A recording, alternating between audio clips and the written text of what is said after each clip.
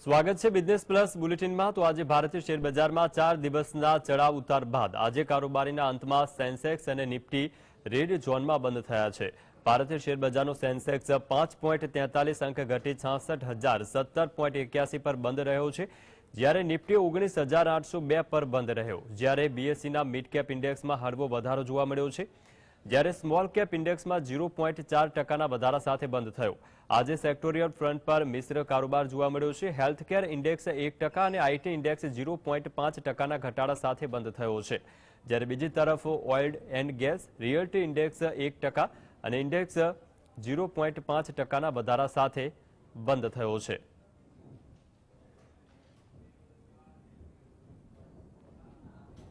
વાત કરીએ સૌપ્રથમ સેન્સેક્સની, તો સેન્સેક્સ આજે પાંચ પોઈન્ટ તેતાલીસના ઘટાડા સાથે છાસઠ હજાર સત્તર પોઈન્ટ એક્યાસીએ સેન્સેક્સ બંધ આવ્યો છે. જ્યારે વાત કરીએ નિફ્ટીની, તો નિફ્ટી પણ આજે નવ પોઈન્ટ પંચ્યાસીના ઘટાડા સાથે ઓગણીસ હજાર આઠસો બે પર નિફ્ટી બંધ આવી છે. વાત કરીએ આગળ હીરો શેર્સની, સૌપ્રથમ હીરો મોટો કોર્પ, તો તેમાં આજે એકસો ચોપન પોઈન્ટ ચાલીસ રૂપિયાનો વધારો જોવાયો છે અને આ શેર્સ ત્રણ હજાર પાંચસો ને અડસઠ રૂપિયાએ બંધ આવ્યો છે. વાત કરીએ બજાજ ઓટો વિશે, તો તેમાં આજે એકસો તોતેર પોઈન્ટ સિત્તેર રૂપિયાનો વધારો જોવા મળ્યો છે અને આ શેર્સ પાંચ હજાર નવસો ને પચીસ પોઈન્ટ પચીસ રૂપિયાએ બંધ આવ્યો છે. વાત કરીએ આઈસર મોટર્સ વિશે, તો તેમાં આજે પચાસ રૂપિયાનો વધારો જોવાયો અને આ શેર્સ ત્રણ હજાર આઠસો ને ત્યાસી પોઈન્ટ એસી રૂપિયાએ બંધ આવ્યો છે.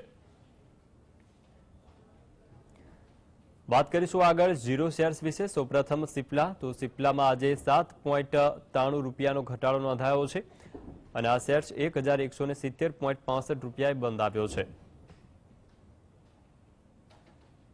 વાત કરીએ અલ્ટ્રાટેક સિમેન્ટ વિશે, તો તેમાં આજે એકસો ચોપન પોઈન્ટ રૂપિયાનો ઘટાડો નોંધાયો અને આ શેર્સ આઠ હજાર છસો પાંચ પોઈન્ટ પચીસ રૂપિયાએ બંધ આવ્યો છે.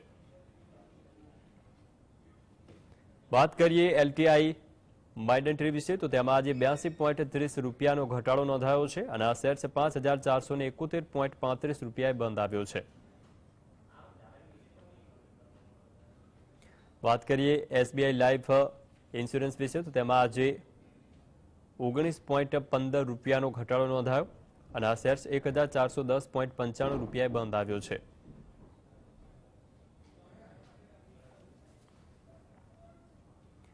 તો માર્કેટના આજના કારોબાર અંગે ચર્ચા કરવા આપણી સાથે જોડાયા છે ચાણક્ય ગ્રુપના ફાઉન્ડર પરેશભાઈ ગુરધનભાઈ.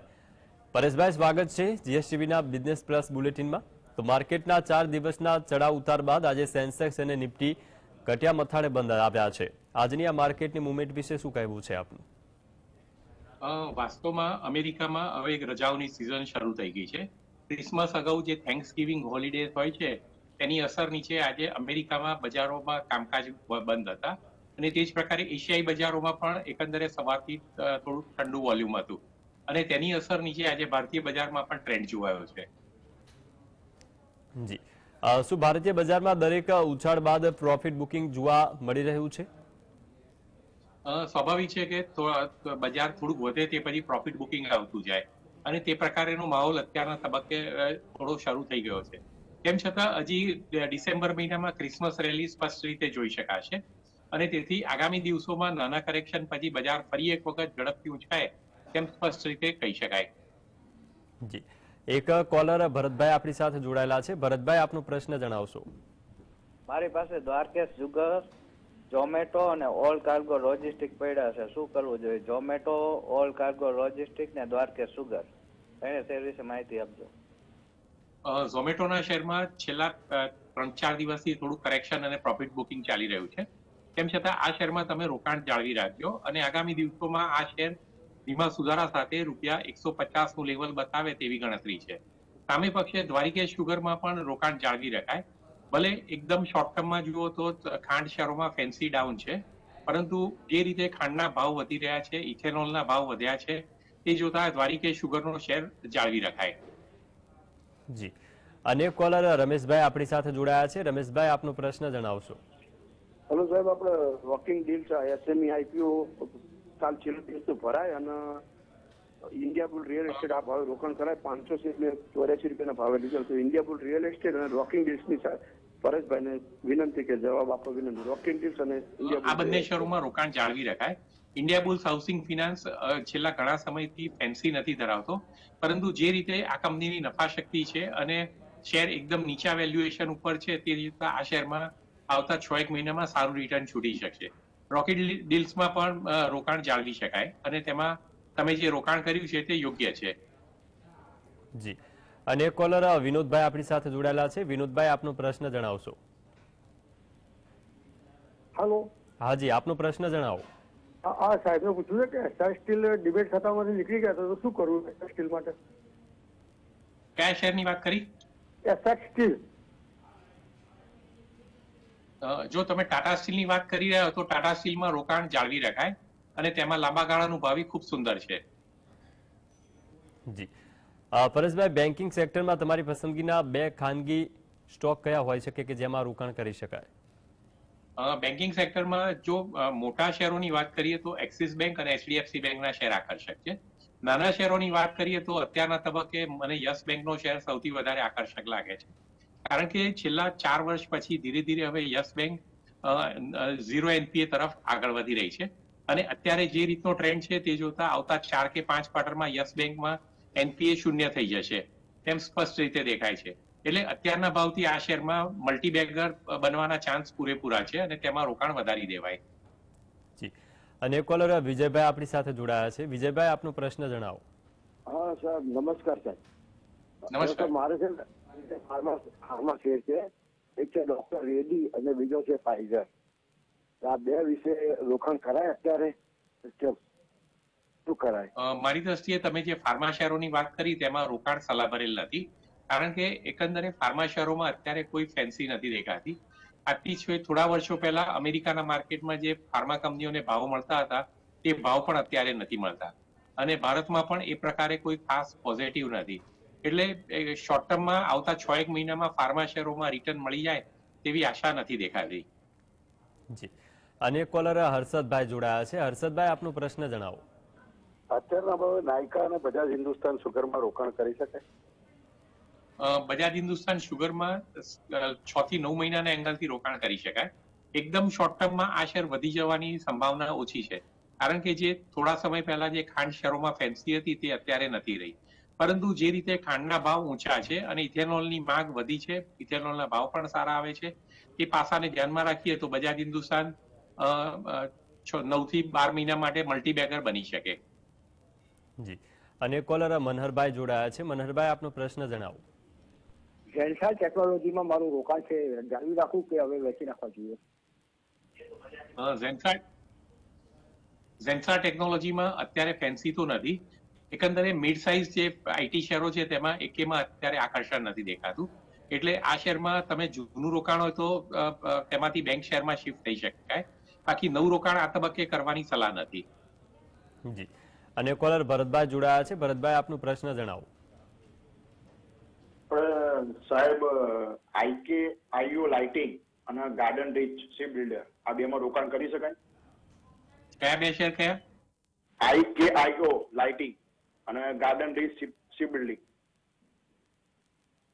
મારી દ્રષ્ટિએ જે ગયા વર્ષે જે સરકારી ડિફેન્સ શેરોમાં જે રિટર્ન મળ્યું હતું, તેવું હવે મલ્ટી મલ્ટિપલ રિટર્ન શેરોમાં શક્ય નથી દેખાતું.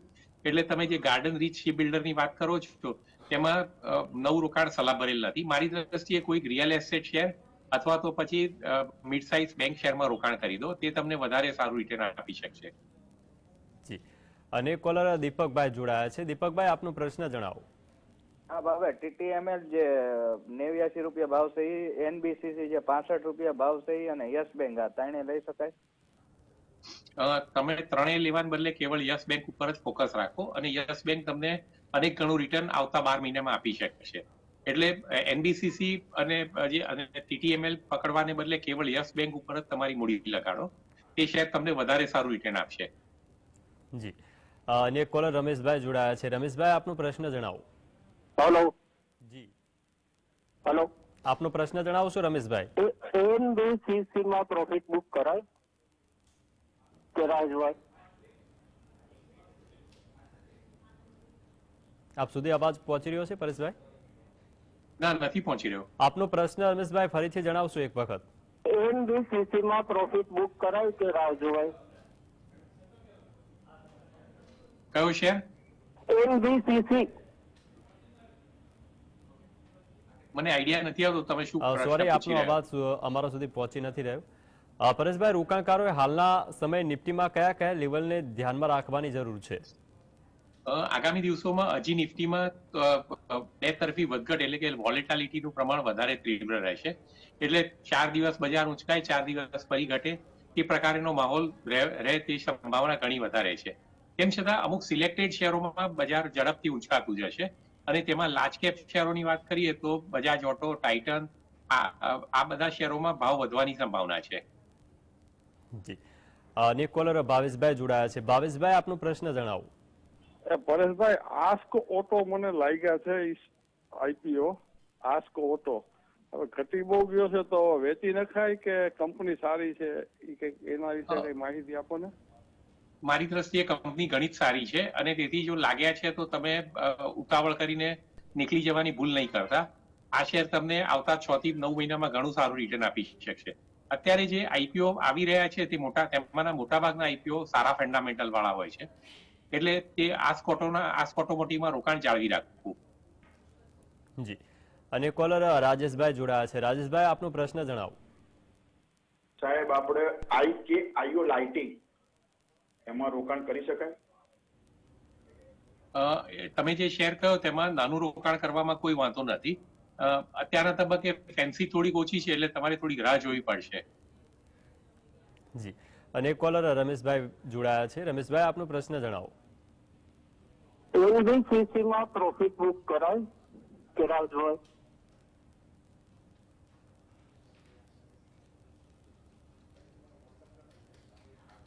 રમેશભાઈ ફરીથી એકવાર આપનો પ્રશ્ન જણાવો. આપનો અવાજ બરોબર અહીંયા પહોંચી રહ્યો નથી. એનબીસીસી માં પ્રોફિટ બુક કરાય કે રાજુભાઈ? જોવાય એનબીસીસી. એનડીસીટી જેવું કંઈક એ બોલી રહ્યા છે. મને પણ એનબીસીસી. એનટીપીસી માં પ્રોફિટ બુકિંગ કરી શકાય. એનડીસીસીમાં પણ અત્યારના તબક્કે આકર્ષણ નથી. એટલે એનબીસીસી માંથી પણ નીકળી જવાય. એકંદરે સરકારી શેરોમાં જે ગયા વર્ષે જે તેજી જોઈ હતી તે હવે શક્ય નથી લાગતી.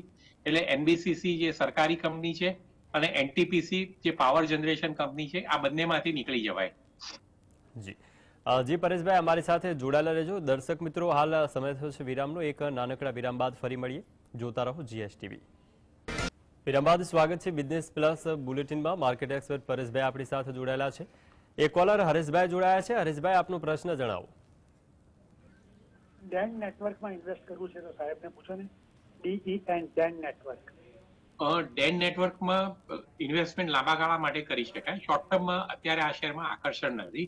પરંતુ જે રીતે ડીશ ટીવીનો શેર હવે વધવા તરફી થયો છે તો તે તે તબક્કાને ધ્યાનમાં રાખો તો તમે ડેન નેટવર્કને બદલે ડીશ ટીવી થોડાક લેશો આ ભાવે તો તમને વધારે સારું રિટર્ન આવતા ત્રણેક મહિનામાં મળી શકશે.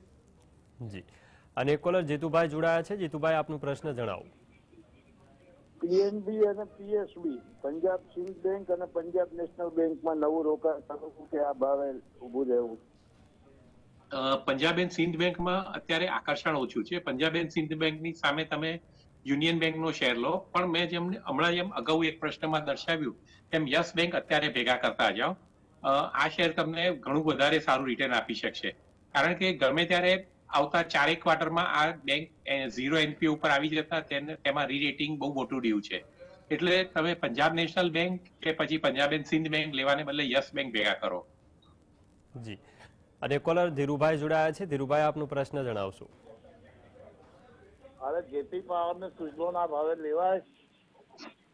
સુઝલોનમાં ભાવ સારો એવો વધી ગયો છે. એટલે નાનું રોકાણ કરી શકાય. જેપી પાવરમાં થોડુંક રોકાણ કરી શકાય. તમે જો મોટું રોકાણ કરવા માંગતા હો એટલે અતિશય જે પાંચ હજાર દસ હજાર શેરો લોકો લે છે તે રીતે રોકાણ કરવા માંગતા હો તો તમે યસ બેંક ભેગા કરો. એ શેર તમને સારું રિટર્ન આપશે. જી. અને પરેશભાઈ તમારા મતે હાલના સમયમાં એફએમસીજી સેક્ટરમાં કયા શેર્સમાં લાંબા ગાળા સુધી રોકાણ કરવું યોગ્ય રહેશે? અત્યારના તબક્કે હજી એફએમસીજીમાં માંગ એટલી ઝડપથી નથી વધી. ભલે તહેવારોમાં થોડાક વેચાણો વધ્યા છે પરંતુ જે નફાશક્તિ ઝડપથી વધવી જોઈએ તેવી નફાશક્તિ નથી દેખાતી. એટલે એફએમસીજી શેરોને બદલે મારી દ્રષ્ટિએ આ તબક્કે તાજેતરમાં જે હોનાસાનો હોનાસા કન્ઝ્યુમરનું લિસ્ટિંગ થયું અને ઝોમેટો છે, આ બે શેરો માં રોકાણ વધારી શકાય. આ બે શેરો ઘણું સારું રિટર્ન આવતા ત્રણ મહિનામાં આપી શકશે. જી. એક કોલર મહેશભાઈ આપણી સાથે જોડાયેલા છે. મહેશભાઈ, આપનો પ્રશ્ન જણાવો. રૂરલ ઇલેક્ટ્રિફિકેશન કોર્પોરેશન આરઈસી એમાં જૂનું રોકાણ છે. જાળવી રાખવું કે હવે પ્રોફિટ બુક કરવો જોઈએ? મારી દ્રષ્ટિએ આરઈસીમાં અડધું પ્રોફિટ બુકિંગ કરીને બાકીના શેરો જાળવી શકાય. કારણ કે આરઈસી અને પાવર ફિનાન્સમાં જે રીતે નવા ડેવલપમેન્ટ થયા છે, તે જોતા હવે ઉછાળાની જગ્યા થોડીક મર્યાદિત છે. એટલે અલ્લા તબક્કે કોઈ પ્રાઇવેટ સેક્ટર અથવા પબ્લિક સેક્ટર બેંકમાં શિફ્ટ થઈ જવું વધારે ફાયદાકારક બનશે. કોલર શૈલેષભાઈ જોડાયા છે. શૈલેષભાઈ આપનો પ્રશ્ન જણાવો. આ ભાવે આપણે હિન્દુસ્તાન કોપર ને લેમન ટ્રી લઈ શકાય લેમન ટ્રી ને હિન્દુસ્તાન કોપર આ ભાવે લેમન ટ્રી ચોક્કસ લઈ શકાય પરંતુ હિન્દુસ્તાન કોપરમાં કસ નથી. વેદાંતા ગ્રુપના શેરો ખૂબ જ નીચા વેલ્યુએશન ઉપર મળી રહ્યા છે. તેમ છતાં આ ગ્રુપના શેરોમાં પડવા જેવું નથી. હિન્દુસ્તાન કોપરમાં તમને ડિવિડન્ડ યીલ્ડ સારું છૂટે છે પરંતુ તે તેમ છતાં પણ હિન્દુસ્તાન કોપરને બદલે તમે કેવળ લેમન ટ્રી ઉપર જ ફોકસ રાખો. જી. અ, અને કોલર એક દોલુભાઈ આપણી સાથે જોડાયેલા છે. દોલુભાઈ આપનો પ્રશ્ન જણાવો. દોલુભાઈ ભાવનગરથી બોલું છું. મારી પાસે પારસ ડિફેન્સ ના આઈપીઓ ના શેર છે એકસો પંચોતેર ના ભાવના પંચાસી share. Share? Infra Paras defence. Paras defence ના આઈપીઓ ના શેર છે. અને જેએસડબલ્યુ ઇન્ફ્રા ના શેર છે આઈપીઓ ના એકસો ઓગણીસ ના ભાવના. જેએસડબલ્યુ ઇન્ફ્રામાં મારી દ્રષ્ટિએ આકર્ષણ ઓછું છે. એટલે જેએસડબલ્યુ ઇન્ફ્રામાંથી તમે થોડો નફો મળતો હોય તો નીકળી જાઓ. અન્ય શેરમાં રોકાણ જાળવી રાખશો તો વાંધો નથી. જી. પરેશભાઈ અજંતા ફાર્માના શેર સંગે રોકાણકારોને શું સલાહ આપો છો? અજંટા ફાર્મા બ્રાન્ડ બહુ મજબૂત છે પરંતુ અત્યારના તબક્કે આ શેરમાં ઝડપીકરણની ઝડપી કરંટની સંભાવના નથી દેખાતી. એકંદરે જેમ હમણાં મેં દર્શાવ્યું તેમ ફાર્મા શેરોમાં આકર્ષણ ઓછું છે. એટલે અજંટા ફાર્મા અને અન્ય ફાર્મા શેરોથી દૂર રહેવામાં ફાયદો છે. ફાર્મા સેક્ટરમાં જો રોકાણ કરવું હોય તો કેવલ ઝાયડસ લાઈફ સાયન્સનો શેર કંઈક સારો કહી શકાય. જી. ટાટા મોટર્સના શેર્સમાં રોકાણ કરનારાઓને આપ શું સલાહ આપો છો? કયા સેક્ટર માટે? ટાટા મોટર્સ ટાટા મોટર્સનો ભાવ છેલ્લા થોડા થોડા મહિનામાં સારો એવો વધી ગયો છે. અને તેમાં પણ ટાટા ટેકનોલોજીસનો આઈપીઓ આવ્યો. તે તેની ગણત- તે ગણતરી પાછળ પણ ટાટા મોટર્સ સારો એવો વધ્યો છે. એટલે હવેના તબક્કે આવતા થોડા અઠવાડિયા પૂરતું આ શહેરમાં કરંટ ઠંડો રહેશે તેવી ગણતરી છે. જી. અને કોલર એક સુરેશભાઈ જોડાયા છે. સુરેશભાઈ આપનો પ્રશ્ન જણાવો.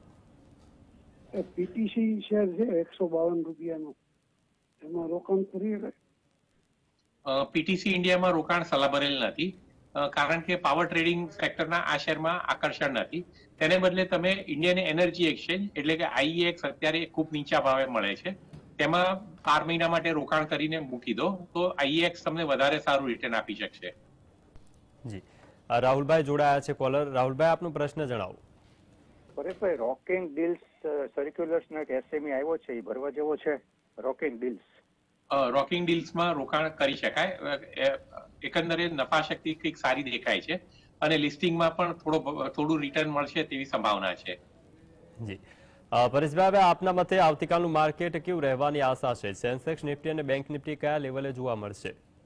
હમણાં જેમ દર્શાવ્યું તેમ વોલેટાલિટીનું પ્રમાણ વધારે રહેશે પરંતુ એકદમ સિલેક્ટેડ શેરોમાં ભાવ વધવાની સંભાવના છે. અને તેમાં ટીસીએસ અને રિલાયન્સના શેરોમાં થોડો અપટ્રેન્ડ જોવા મળે તે સંભાવના છે. અને આજે આપણે જે સ્ટોક અંગે ચર્ચા કરી છે તેમાં કોઈ કંપનીમાં આપનું રોકાણ ખરું? આજે જે શેરોની ચર્ચા કરી તેમાં યસ બેંકમાં અને ઝોમેટોમાં રોકાણ છે. જી. જી પરેશભાઈ અમારી સાથે જોડાયા અને દર્શક મિત્રોનું માર્ગદર્શન કર્યું તે બદલ આપનો ખૂબ ખૂબ આભાર. તો દર્શક મિત્રો હવે જાણીએ કે જ્યોતિષની દ્રષ્ટિએ કેવું રહેશે આવતીકાલનું માર્કેટ.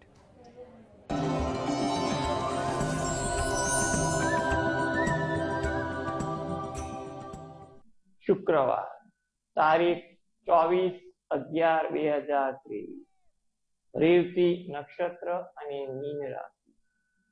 બજારનું ઉદિત લગ્ન, ગ્રહ, નક્ષત્ર, યોગ, હોરા વગેરે જેવી બાબતોને આધારે જ્યોતિષ ગણતરી કરીએ તો બજારમાં મંદી એટલે કે ડાઉન ટ્રેન્ડ થતો જોવા મળે તેવી પણ ધારણા લાગી રહી છે. બજાર સમય સવારે અગિયારથી બાર દરમિયાન મુવમેન્ટ થોડીક ધીમી રહે કે થોડીક નેગેટિવ બને એવું પણ જાણવા મળે છે. એમાં પણ વધારે પડતું કોઈ આત્મવિશ્વાસથી કામ આ સમયગાળા દરમિયાન ન કરવું એ પણ એક સલાહ ભર્યું લાગી રહ્યું છે. ફાર્મા કલર કેમિકલ ફિલ્મ જેવા સેક્ટર વધુ પ્રભાવિત થાય, એમાં મુવમેન્ટ વધુ દેખાય તેવું બનવા જોગ છે. સિલ્વર, કોપર, ગોલ્ડ અને નિકલમાં પણ વધુ ચળવળ દેખાય તેવા પણ યોગ દેખાય છે. સાંજે સાતથી આઠ દરમિયાન મુવમેન્ટ થોડીક વધુ રહે અને એમાં ક્ષણિક ઉછાળાઓ આવી જાય એવી પણ કેટલીક ધારણા બની રહી છે. એગ્રો કોમોડિટીમાં જોવા જઈએ તો મેન્થા એલચી, કપાસ, ધાણા, મગ વગેરે જેવી વસ્તુઓમાં મુવમેન્ટ થોડીક વધુ આવે એવું બનવા જોગ છે. બપોરે બેથી ત્રણ દરમિયાન બજાર થોડું સુસ્ત રહે એ બાદ બજારમાં થોડીક ચહલ પહલ કે ટ્રેન બદલાવાની શક્યતાઓ પણ ઊભી થઈ શકે તેવું લાગી રહ્યું